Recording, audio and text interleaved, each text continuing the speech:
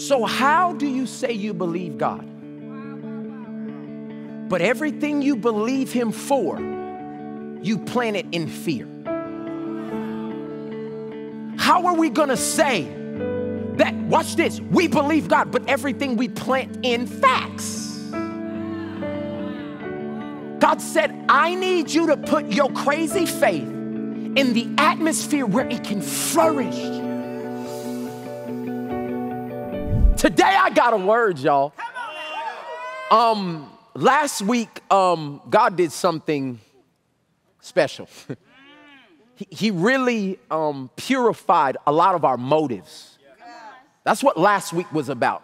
Purification of our motives. Why do we want it?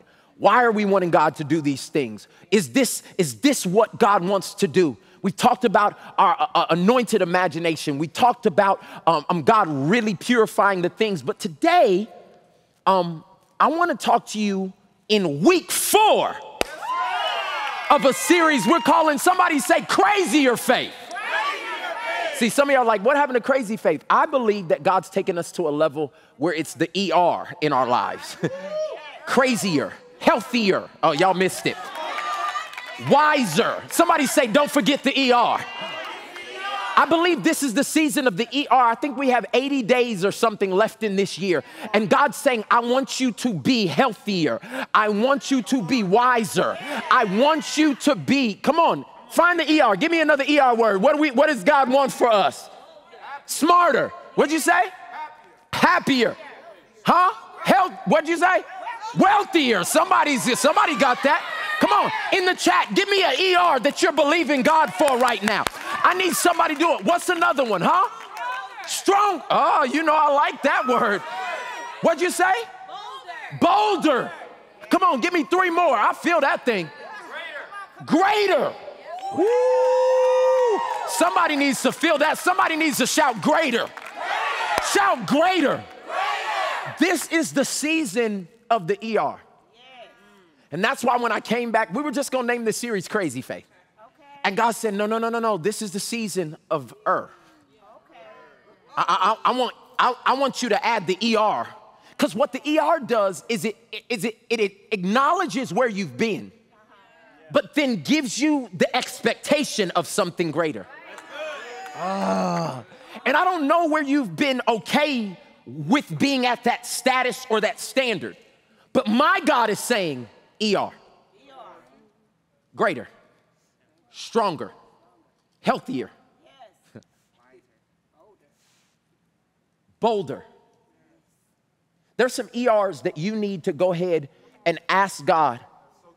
Would, you, would you allow this to not just be an idea, but would you bring this into my life?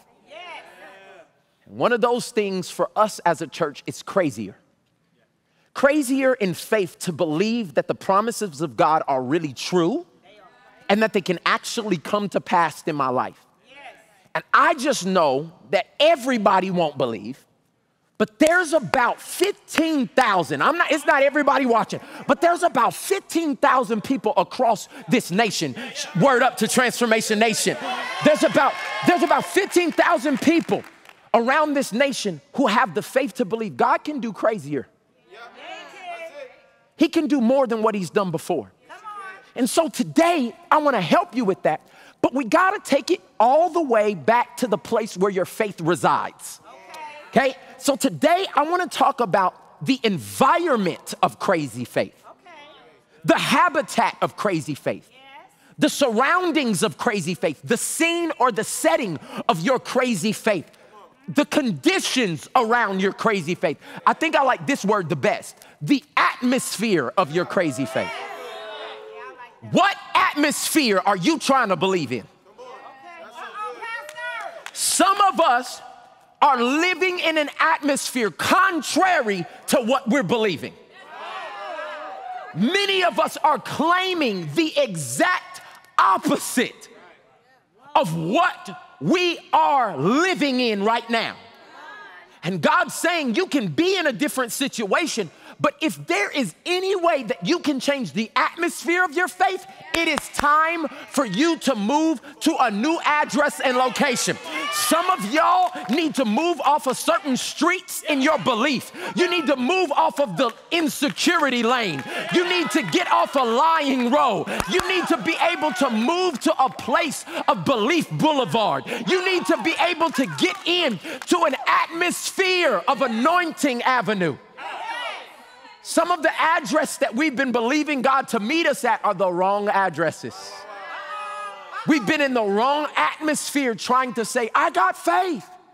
And today, I want you to know that certain things can only live and flourish in certain atmospheres. I'm gonna say that one more time. Certain things can only live and flourish in certain atmospheres. Let's play a little game real quick um, if I said to you, a fish flourishes in the atmosphere of A, a desert, B, a kitchen, or C, water, what would be the correct atmosphere that a fish would flourish in? C, C, some of y'all in water. Now, in, in, in the desert, a fish could flop around, but it wouldn't flourish in the pan in the kitchen. Some of y'all like, no, that's where that fish need to be. And put a little lemon on it and saute it. Ah. But you would be flourishing. But the fish would not be flourishing in that kitchen. The only place that the fish could flourish is where? In the water. Okay, let me give you another example. A flower.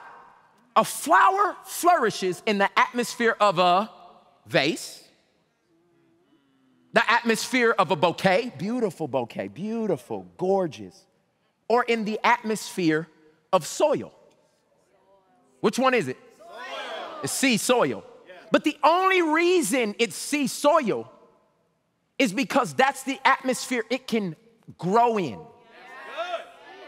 It's not the most beautiful atmosphere. The vase is a much more beautiful atmosphere for the flower. Y'all not helping me. The bouquet is a better presentation of the flower. But the only atmosphere that that flower can flourish in is in the soil. What are you trying to say? Some of you have been trying to go after atmospheres that look good and that present well.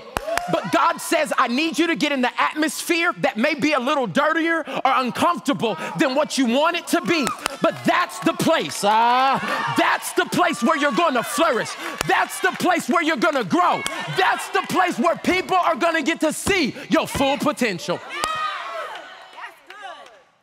Many people don't understand that it takes being in the right atmosphere to see the fullness of what God placed on the inside of you. One more, one more, one more. Faith flourishes in the atmosphere of A, doubt, B, fear, or C, belief. Which atmosphere does your faith flourish in? See. So, how do you say you believe God? But everything you believe Him for, you plant it in fear. How are we gonna say that, watch this, we believe God, but everything we plant in facts? God said, I need you to put your crazy faith in the atmosphere where it can flourish. And that atmosphere is belief. Write this point down. Crazy faith flourishes in the atmosphere of belief. Say that with me. Crazy faith flourishes in the atmosphere of belief. If we do not get the things that God says to us in an atmosphere of belief, it will not flourish. What if I knew I was called to be a pastor? But when I said that to my family, I was in an atmosphere of doubt and pessimism. What that does to what I have faith for. Some of you are paycheck to paycheck right now, but God has birthed a business or a nonprofit or something on the inside of you. And be careful who you say it to. Because if you're in the wrong atmosphere, they will choke out the very thing that's supposed to go and bring them shade. Oh God. In a different season, in a different season, what you allow to grow will be the very thing you eat from and bring you shade. But if you kill it in seed form, oh my God. You know that's why they tried to kill every boy under the age of two. Because the best time to kill a king is when it's a kid. And the best time to kill your dream is when it's in seed form. At TBN, our mission is to use every available means to reach as many individuals and families as possible with the life changing gospel of Jesus Christ. Thank you for helping make the gospel of grace go around the world. Without you, we couldn't do it. God bless you.